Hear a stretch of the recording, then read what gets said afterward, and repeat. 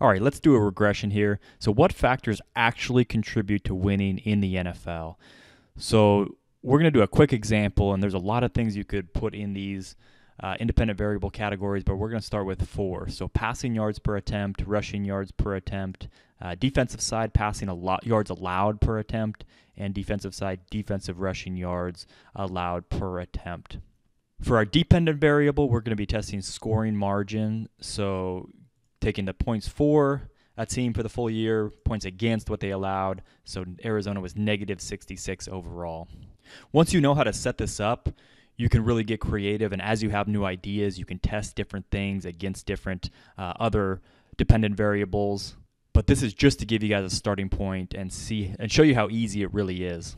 I got this data from Pro Football Reference. If you go under the at the top here seasons and then team stats and stats and standings for 2017 scroll down through a little bit of this stuff and then team offense here. Net yards gained per pass attempt is what i used which takes passing yards minus sacks because a lot of the sources around the internet don't remove sacks which should be removed because the, the team was attempting to pass so that the passing should get uh, penalized for that. And then taking the passes attempt plus time sacked to divide that figure. They have an easy ability to get the Excel workbook and then it'll put it in Excel for you. So that's what I did and we're ready to go here. So to do a regression, we're just going to hit the data tab and then data analysis here in the top right. Um, it's going to pop up with a box here. We pick up regression, click OK. Okay, Y range. This is the dependent variable, so we're going to take margin. We'll grab the header too. And there we go. Uh, X range. I'm going to take all four of these, what we're measuring. Okay, labels, since we grabbed the uh, that top part. Constant is zero, we're going to start with that. And put the output range, we will just put it, um, that's it for now. You can get a lot more complicated, and this is where a lot of the math people want to go deep into explaining every single one of these.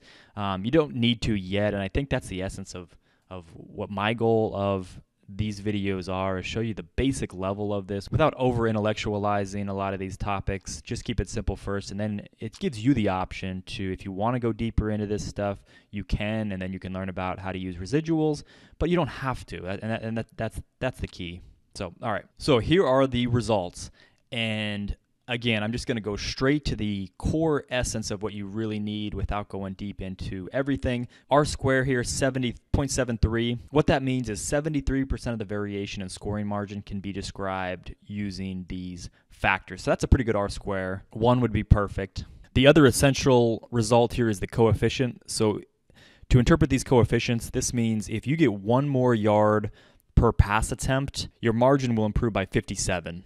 So the bigger number here, the better, the more meaningful. So you can see here defensive passing yards against, negative 95. In this year of 2017 data, the most important factor of these four uh, by far was your defensive passing yards against, followed by passing yards on offense, and then rushing yards quite a bit less, and the defensive rushing yards even even less than that. I also did 2017 and 2016 combined. You can take a take a look at the results here. It was 77 for passing yards per attempt, uh, negative 79 for defensive pass. So right about the same there for uh, passing, and then your your ability to stop the pass, and then also right about the same for rushing yards and rushing yards again. So that's that's evidence that passing yards per attempt and your ability to stop passing yards per attempt. Basically, evidence that it really truly is a passing league. Uh, but equal, everybody everybody kind of sees that as a reason to bet on quarterbacks. Not necessarily the case because your defensive ability to stop the pass is equally as important, if not slightly more important. So just something to think about, but also more importantly, just showing you how to how easy it is to run a regression. You could change any of those independent variables. So you could use total yards per game, you could do penalties margin, you could do turnover margin, you could do uh, more advanced stats as, as as more and more data becomes available, and you can test it against scoring margin. You could test it against other things that you want to, but just showing how easy it truly is in Excel, very free to do some of these data tests on your own.